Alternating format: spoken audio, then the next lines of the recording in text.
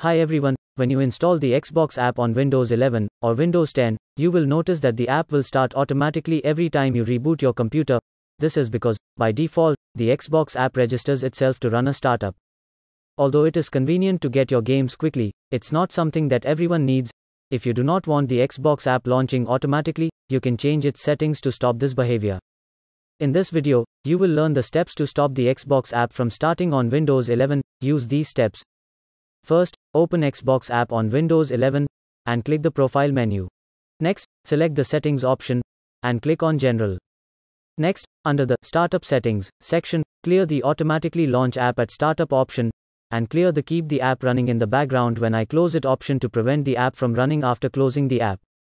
Once you complete the steps, the Xbox app will no longer launch automatically as you sign into your Windows 11 after a reboot or cold start. If you're watching my video for the first time, please make sure to grab the subscribe button to get the thumbs up and turn on your notifications. So you never miss an update. See you in the next video.